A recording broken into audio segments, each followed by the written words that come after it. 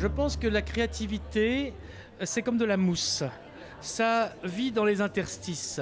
Dans les interstices qui sont surtout des interstices de liberté, des interstices de doute, des interstices d'inquiétude. Euh, puis c'est la générosité, et donc la générosité, c'est pas si ça peut se généraliser à une ville, mais on peut imaginer qu'une municipalité travaille sur la générosité, puis euh, ne pas trop donner de moyens, mais quand même encourager que les, liaisons entre les créatifs et les industriels soient un peu facilitées, euh, que les jeunes gens euh, ne soient pas pétrifiés de peur d'aller faire drink, drink, drink, bonjour monsieur, j'ai une idée, car hélas, il y a beaucoup d'idées qui se perdent comme ça. L'important, c'est le brassage, le brassage des ethnies, le brassage des races, le brassage des âges, le brassage des sexes.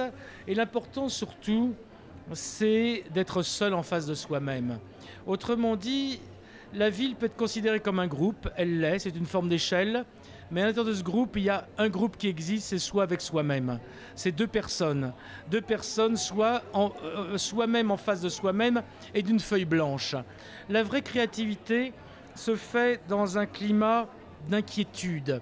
D'inquiétude sur le thème suis-je capable de remplir le contrat que j'ai signé en naissant, un contrat induit avec la société qui est que je ne suis pas obligé d'être un génie, mais je suis obligé de participer.